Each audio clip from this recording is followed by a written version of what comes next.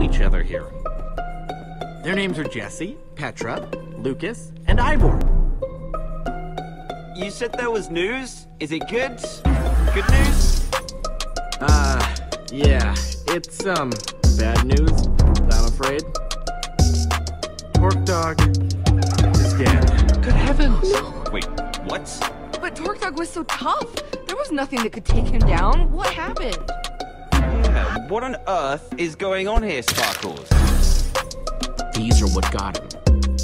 Tipped arrows? Does this mean someone set a trap for Torque Just like that. So what happened to his stuff? Whoa! How can you say that? What? It's a valid question. Whoa.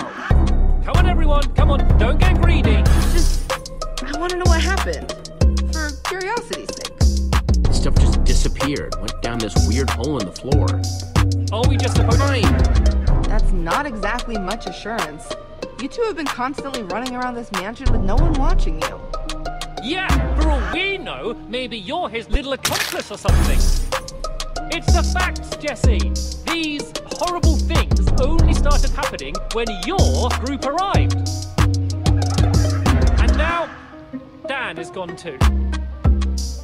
I say we throw him outside and let nature take its course. What? Out, outside? Outside? Where all the googlies are! No, you can't do that. Now, hang on. I may still have my suspicions about Lucas, but Jesse saved me. And you tried really hard to save Dan. It just wouldn't feel right to throw your friend to the googlies.